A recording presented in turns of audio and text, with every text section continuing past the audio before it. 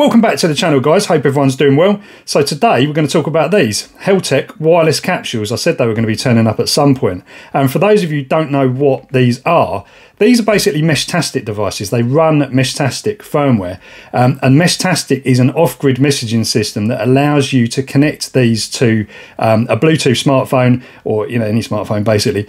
Um, and you can send messages um, without the internet to other people with these devices. So it's super cool for like kind of off grid communication, um, places where there's no cell coverage, you know, emergency situations. But the, the cool thing about Meshtastic is that it uses um, a mesh networking um, sort of technique. So the more devices you've got of these in an area, they'll all mesh together and your messages get passed through. So the more of these devices out there, the better. And the network in the UK, at least, has taken off massively at the moment. You can look look for more videos on that, especially on this channel. I'll link some more below if you want to learn more. Um, but this is a new device from a company called Heltec, which are pretty um, kind of prolific in in in sort of the Meshtastic world. Um, very very well known. And yeah, we're going to take a look at this today. So if we open up the box, we can see that this is an all-in-one unit. So this has got a LoRa radio built in, um, and that is obviously what these these devices. All, all the Meshtastic is it, it, runs on LoRaWAN. Well, it's not LoRaWAN; it's actually LoRa in a kind of peer-to-peer mode. But basically, um, in here you've got a LoRa radio, you've got um, an ESP32 chip, microprocessor. You've got a GPS chip as well, so these would these location track as well. Yeah, and these are absolutely brilliant. They've got so much technology packed in. So the way you start with these things is you just literally put your finger over the top of there, and there's like a little sensor underneath which fires up the device, and you can see the LED um, comes to life, and that is now on. So what we can do is we can get a smartphone with the uh, Meshtastic app and um, what you can do here is you can just search for it. Now, some of these other ones are, are mine. I know these numbers anyway, but you can pair it with the smartphone. Now, normally on these sort of Meshtastic devices, they have a little screen and it will show you a um, uh, your PIN number. Now, obviously, these don't have it, but I've worked out they're preset to one, two, three, four, five, six. It's pretty pretty obvious, um, and you should probably change that once you kind of get into uh, the device. But anyway, it's going to go through this sort of process of kind of pairing and setting up. And there we go. Now, I have already set this one up. So um, its region is set to EU 868, which is what you want to use in the UK. Um, there's lots of other regions you can see here, which you can you can choose, but 868 is the one we want for the UK. You can also give them the node a name as well here. Um, I'm just going to leave it all as stock settings just to sort of test this out. Um, but that is basically it. Um, and then you can go on to the, the main screen. When you set these up for the first time, you probably won't see all of these. These are all nodes in my area um, that are running on similar devices to this. So there's lots to this. As I say, I've got done loads of videos about this so far, and you can see how to set one of these things up and some of the other features that you can do with it. But yeah, from here we can see it's working. Um, we can go to the public channel here and you can see, you know, there's been some sort of other conversations happening on here. It's a bit like the old CB radio days. You can just chat to people on, on a public channel. So let's have a closer look at this little device then. So as I was saying, this is kind of normally what a, what a Meshtastic node looks like, um, you know, in its most basic form. This is from the same company, Heltec. This is a uh, V3 uh, LoRa 32 board and you can see it's got a display on there as well but this is what everybody's been using um, of late the good thing about these is that they do have an external antenna connector so you can connect different antennas to them um, but yeah this is basically very very popular and it's probably struggled to get hold of these now because it's been so popular effectively though this is just sort of like a different version um, to this this will have different use cases. This casing is supposed to be waterproof. And this is more of an end user product. You haven't got to kind of print a 3D case or anything like that. This comes as is. So to charge it, it's got this kind of magnetic charge port at the bottom that reminds you of something like, you know, Apple do. Um, and you get this little USB lead here, which you can use to just click on there. It'll only go one way, otherwise it kind of freaks out with the magnetism, um, and that will then charge. Now there has been some sort of questions about battery life on this thing because ESP32 devices don't generally have very good battery life, um, and I know that Heltec did say in their original video um, these were going to start off with ESP32 and then they might move on to like another chipset, which is a lot more efficient. It'd be good to see that because uh, I don't know how long these are going to last. We're going to have to test test them out. Now, you might have noticed that these devices do not have a USB-C port. So how do you update the firmware? Well, the good news is these do come with Meshtastic pre-installed, so you can get going straight away. When it comes to updating firmware, you need to do it by Wi-Fi. The process is slightly different to the normal Meshtastic website flasher, but it is still pretty easy.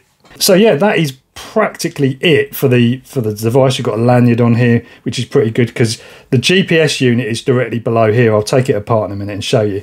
Um, but that would make sense. The lanyard it's swinging around like that. This would be great for a drone. You could literally just you know hang this off of a drone. That would be really good. Or you know a bag if you're going walking. All, all sorts of stuff really. So let's rip this apart. I know you guys want to see what's inside. So there's just two screws on the ends here so we're just going to whip them, whip them out, nice and easy.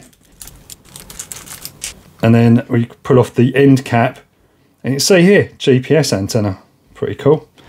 Um, right underneath, and as I was wondering, these two pads here they make contact with the charging, so you can actually kind of yeah see how that works. So to get it out, I have taken apart one of these before, and you can see this is the device. And we can already see on the back here what looks like a big capacitor, but it's not. It's actually a pretty small battery, 200 milliamp hours. I'm pretty sure they say it's 280, but it's a, a, a lithium ion battery there, you can see. And um, so, yeah, we'll have a closer look here. But yeah, it is a very neat little device. There's the ESP32 microprocessor there.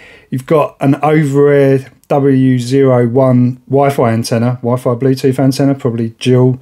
I would have thought these can only operate one one at a time, um, either Wi-Fi or Bluetooth. So um, that would make sense. And this sort of this is interesting, isn't it? This is sort of like a capacitive. Is it a capacitive kind of um, on-off switch, something like that? And this bit here looks like the LoRa antenna. So that is actually nice and up there in the top of the casing. Obviously, it'll be upside down if this thing's hanging by the lanyard, but yeah, interesting.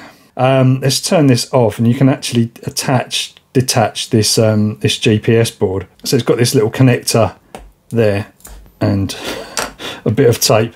Um, you can see here. That's how it connects on with that little connector.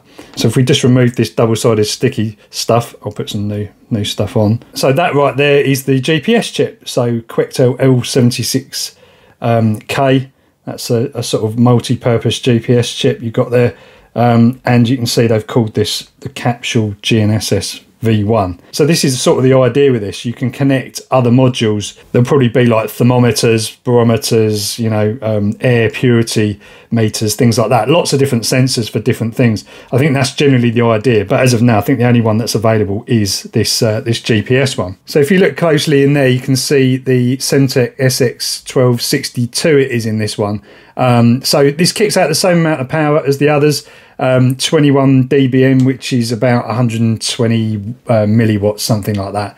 I've tested some of these as high as about 140, but um, it's going to be difficult on this one because we've got this, obviously, this built-in antenna. Although it wouldn't be too difficult to put another antenna on here. Um, you could easily desolder that um, and put, you know, an SMA and maybe have the SMA on the top of this case in here. I don't know. Just looking at this a bit closer, that looks like it could be the ground plane, doesn't it, for the antenna? So maybe that actually means that um, that is, you know, this is the top, this this mark here. So basically, when it is hanging from the lanyard, that antenna is actually facing upwards. I don't know, but there'll be experts in the comments that can uh, comment on that. Anyway, let's put this thing back together. Stuck a new bit of adhesive on the top of that GPS chip, and then snap it back in. Might be a bit overkill that adhesive. It's proper strong that stuff. Oh, and it's fired up. So just slot it back together. Goes all the way in there.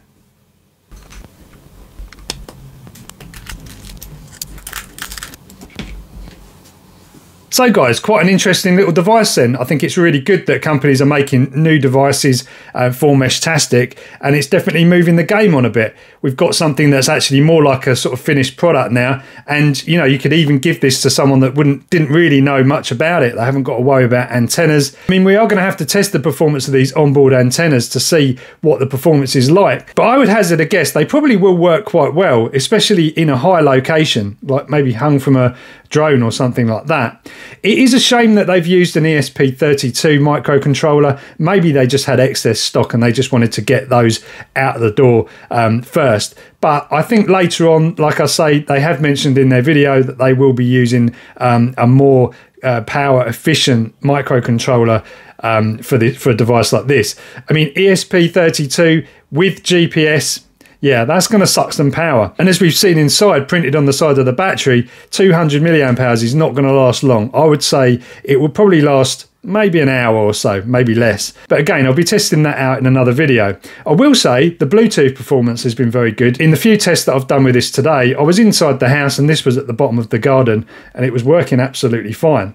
Now, these seem to be available at the moment on Heltec's website for $25.99, which seems pretty reasonable. But the problem is at the moment, the shipping cost is saying $38. I have questioned Heltec about this, um, and they said that they have done something with the price, but I, I, think it was even higher than that. But you won't have to worry about that soon because we will be getting these into the Meshtastic UK store, which is soon to launch, and we'll have all the popular Meshtastic compatible products on there available from the UK. Anyway, guys, hope you've enjoyed this little run through and tear down of the Heltec wireless capsule. And in a later video, I'll be testing out the performance of them. Thanks for watching. I'll catch you next time.